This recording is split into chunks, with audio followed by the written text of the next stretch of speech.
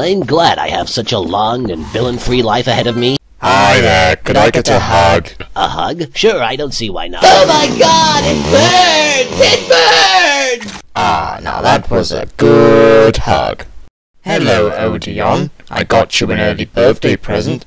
It's called being stabbed in the eye socket. I hope you don't have one. Alvin, you son of a bitch! You stay away from my, or I'll... Really have no clue of what you're f***ing with here, do you? Yeah, yeah, I'll just be getting out of the way now. Yeah, that's what I thought.